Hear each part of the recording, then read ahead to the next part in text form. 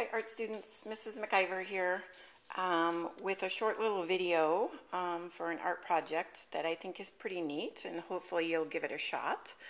Um, the first thing I did in this project was I found an old magazine. All right, so I just took a magazine from home, looked through it, and I found this image of a skier. So I cut him out using my scissors.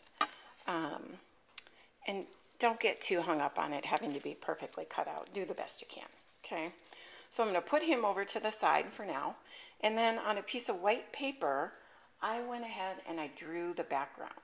So I want my skier to actually be skiing. So I went ahead and I just, using my pencil, did a series of lines that were um, just kind of organic and freely shaped. Okay, then I traced over those pencil lines with my Sharpie.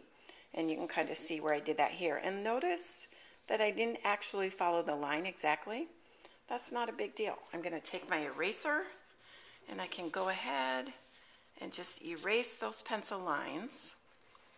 Okay, so find an eraser and if it's not exact, it's not a big deal.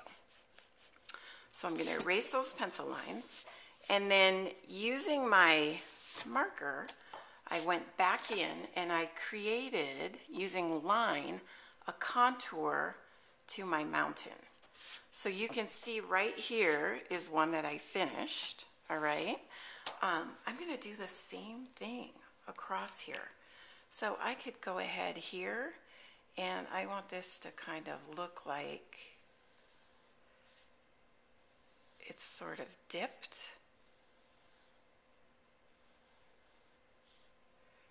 And just by using a series of lines, I can create that illusion of depth. So I'm going to go ahead and fill this whole thing in.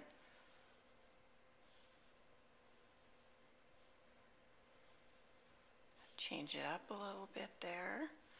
Fill the whole thing in. Maybe I want to do like a really cool thought it might be kind of neat to put a sun in here.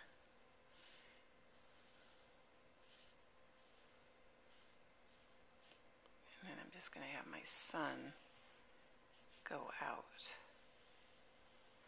So it looks like rays extending upward. And to make sure they're evenly spaced, I'm going to keep dividing each section in half. That way it doesn't get all weird on me, weird and wonky. Keep going like this. And your goal here is to get the whole background filled in with lines. Then you're going to take the image that you cut out and you're going to glue him on top of the background. So I'm going to come back in just a minute when I'm finished and show you what the final project looks like.